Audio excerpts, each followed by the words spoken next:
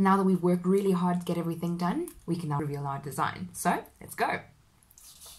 Hi everybody, it's Kelly from Let's Get Clacking and in today's video we're going to go over something that has been requested by many many people and that is one of the Spotify songboard posters.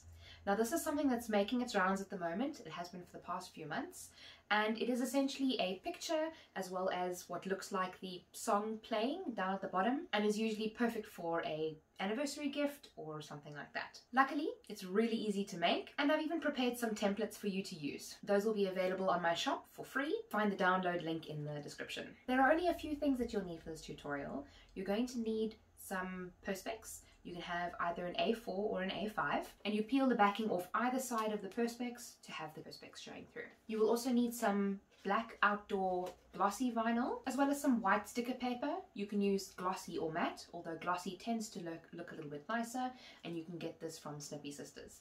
I'll also share a link in the description below. Snippy Sisters sells both of these items so you can kill two birds with one stone.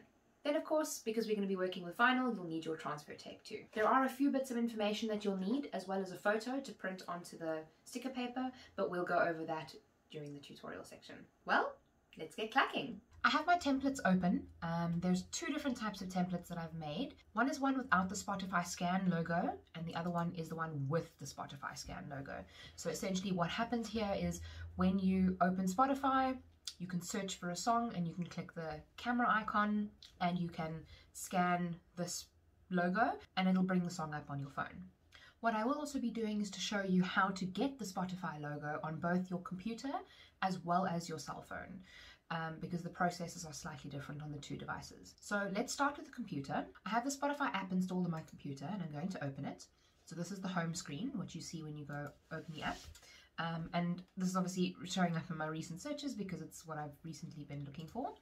But if you want to um, see the actual process, you just type in the name, it'll bring the song up, then click on the song name, and it'll then open the song in the album. Now from here, you'll be able to click on these three little dots, and then you can go to share, and then it'll bring up a whole host of options, and you click on Spotify code all right and then it'll bring up the screen. So now what I did here was I then took a screenshot or if you don't have Greenshot installed on your computer you can use capture. By clicking on the start uh, you can even type in cap or snipping tool. All right it'll then open snipping tool. You can click on new and then you can just I mean you don't have to screenshot the whole thing. You literally just need this section. So you can do that and then it should be on your clipboard already so you can open Silhouette Studio and paste it there. Let's just make this a little bit bigger. The one challenge with doing it this way is that you won't be able to trace the white straight away. So what I tend to do um, is you go to the image effects panel, go to invert the colors, and then you put the inversion from naught to 100 so that all the lights become dark and all the darks become light. Now you'll see it is black and you'll be able to perfectly trace it now. Then we go to the tracing panel, select trace area, you can just trace that area there. I like to make this a little bit bigger so that I can see what I'm doing. And across a little bit. You can trace it just like this, but that doesn't look quite nice. So what I tend to do is I tend to reduce the threshold so that it brings that logo up clearer. I think that's probably okay at about 18. And then you click trace. Now, if you have to do trace outer edge, it would pick up all of these, but this would be a solid circle because it wouldn't trace anything on the inside. Um, and trace and detach can also work, but then you've got to trace it again. So you might as well just click trace. You can even delete the background image and there you have your Spotify logo and it's ready to cut because those are cut cutting lines. Um, you can fill it with black so that you can see what it'll look like and let's zoom out a little bit so that we can then see what it'll look like. Now this is pretty much exactly the same as what I have here. Um, just need to make sure that the sizing is correct.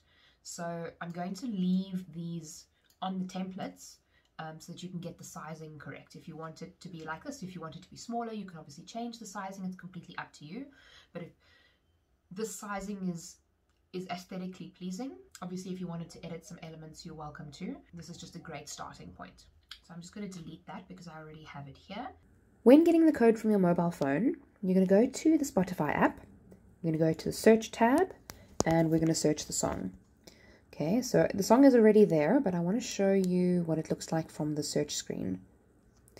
Okay, so we can then click on the three dots on the right hand side, um, and then it'll open up the song. Um, and you can see there is already the Spotify code. So you can take a screenshot here um, and then share it from your from the screen to many, you know, through many different ways. Obviously, this will look different depending on what phone you have, but you can send this via email, you can upload it to Drive, send it to somebody else on WhatsApp if you want to. If you're sending it via WhatsApp, it'll compress the image, which means that the quality might not be as good. So if you upload it to your Drive or email it to yourself, it'll be a very high quality photo. The trace will actually come out better than what it will be on your desktop. So I tend to do that um, just to try and not compromise the image quality. And then once you're done with this, you know, then you can kind of carry on with the next steps in the process. And then when we get the image, you can do it two ways.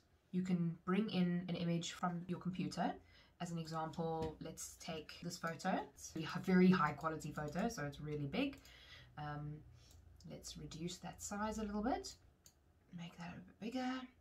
So you can see that, let's just bring this to the front. Um, so you can see as an example, if you didn't want all of the outside of the image, you could just do that and you could just have the hands. Then you can select the image and the box. You can go to the modify panel and click crop and then it'll crop the image to be exactly that size. The other way you can do it is if you have the image open, you can actually drag it into Silhouette Studio, but drag it into the box. So then it already crops the image for you and brings it into the size of the box that you want. Now what you'll do from here, if you don't like where the image is in the box, you can go to the fill panel, open up the fill pattern setting, open the drop down for advanced options, and you can scale the image. So you can zoom right the way in, right the way out, and then it'll tile. Um, if you don't like where the pattern is, you can then pan the pattern, so you move that around. You can move it around in there.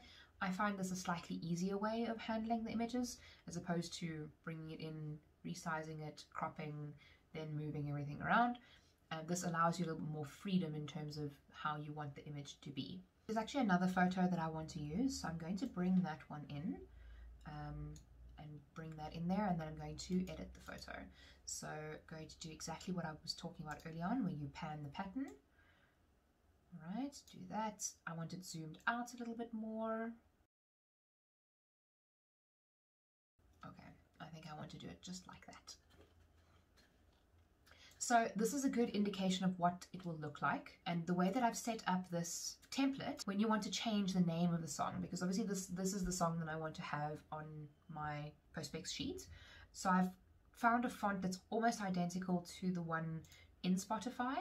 And you can actually just edit them here. So you can just change the name of the song um, and of the band. This I've actually made interactive. So as an example, if you want to move it up, if you want to have the, the button right at the front of the song, then you can. And another little element that I've added onto my Spotify song card is, so obviously this is a photo from my wedding. Um, it's my favorite photo from the wedding. Uh, it's even, you know, in a massive poster above our bed.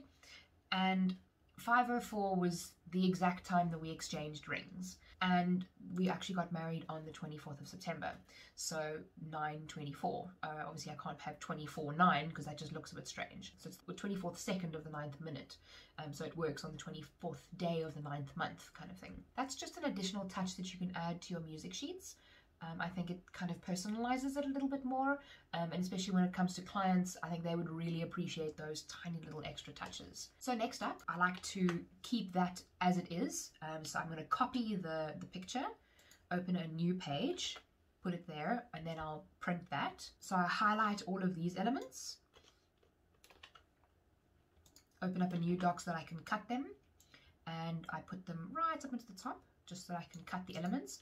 Then what you can do here is you can turn on your weeding lines as well.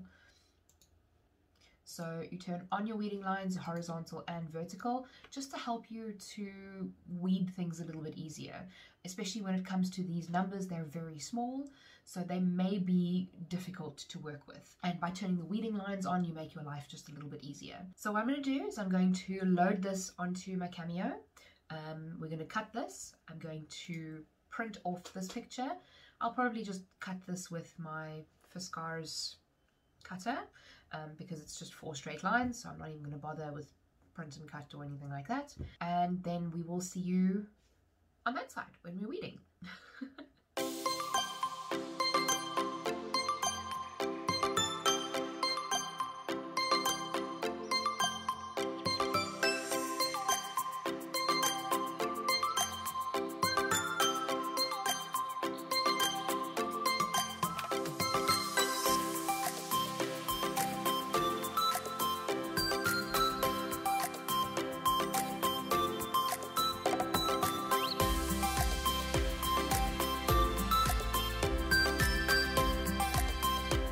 So I've printed out my picture, um, cut it up to the right size, and I've printed out my template. Let's take the piece of Perspex, and we're going to pull the film off. This obviously just protects it and keeps it nice and smudge free, scratch free, and pretty. This one I've obviously gone for is the frosted one. I think it adds a little bit of something extra. So we put the template underneath. Uh, you can even line it up. It should be pretty much exactly the same size. If you've had this cut to A4, then it should be perfect. Um, although this one is slightly off center, so I'm actually just going to bring it over a little bit so that it is right. I'm just going to put the transfer tape onto the vinyl take our scraper and I'm just going to scrape it on. One of the tips that I use for vinyl is to turn it over and to weed the backing off the vinyl, especially when you've got all of these little dots and things like that, um, little characters. I mean, you saw weeding enough was a nightmare, and I definitely should have done reverse weeding, which I will go over in another video in the future. Um, and if you're watching this in the future, then I'll link it here. So, okay, perfect.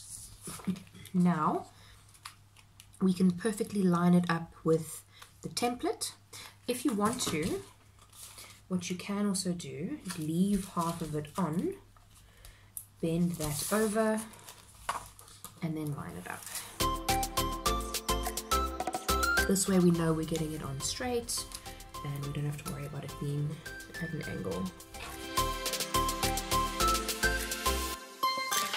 There we go. Save this for later.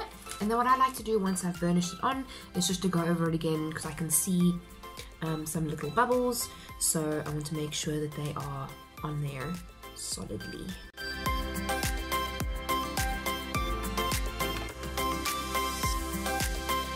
Then we take our picture. Now you can even turn this around a little bit. Take our picture, um, but we can pull that off. And again, you can do exactly what we did with this one, is you line up the one corner and then you slowly pull out the rest. Like, why is this not sticking down? I didn't, you fold it over so that it will stick down. Then you press it down, line it up. Even make sure that the rest of it is lining up. See, like that's not really lined up. So let's just pull that up gently.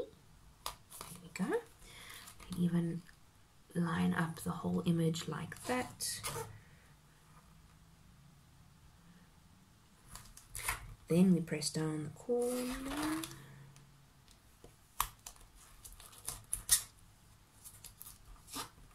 Okay. Then we slowly pull the image back. And you can even burnish this while you're busy pulling the way putting the image back, especially with a big thing like this. That's generally the better way to do it. And I'm sorry, but you might not be able to see this um, just because of the way of the camera angle. I'll try and do it like that for you. So you kind of burnish it as you're as that is being pushed out, if that makes any sense. I'm not the best person at these kinds of things, um, so I probably will have some bubbles, but I'm pretty sure my husband won't mind.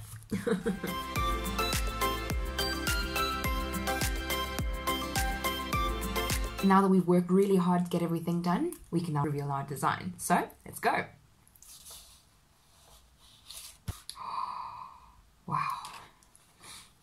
I think it looks stunning. And obviously, if you wanted to do this with Kleos Perspex, you totally could. Um, I really like the frosted look. I think it just gives it a little bit of something extra. And then we can take our phones, scan the song, and then it'll play for us. And obviously we've got the time that we were married, the date that we were married, and my favorite wedding photo. And of course, if you're going to be using reverse weeding, then you won't have this where the letters kept lifting up, which was a bit of a pain, so they're not all 100% level. I really need to get into the habit of using reverse weeding, especially for small things like this. And when it comes to much smaller designs as well, you might want to increase the font, make it a little bit bigger, um, so that you don't have these kinds of problems. I'm okay with it being a little bit up and down, as that's what marriage is all about little ups and downs. Well, thanks very much for watching, everybody. I hope you enjoyed watching me make the Spotify music poster. Um, and obviously, you can use any kind of song that you want on this, whether it's just a, a song that you like, or as an example, a song that you walk down the aisle to, or the client walked down the aisle to, or whatever the case may be, or their first dance song, whatever kind of song that they might like. If you enjoyed this video, please give it a thumbs up and let me know what kind of videos you'd like to see in the future. On this side, you'll be able to subscribe to my channel, and on this side, YouTube will show my latest video, and just below that, something they think that you'll enjoy. Until next time, everybody, be kind to someone. Bye!